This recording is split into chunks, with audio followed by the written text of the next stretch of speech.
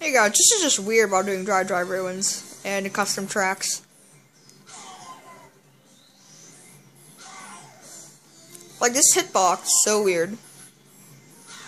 Um, okay, see that that's normal, but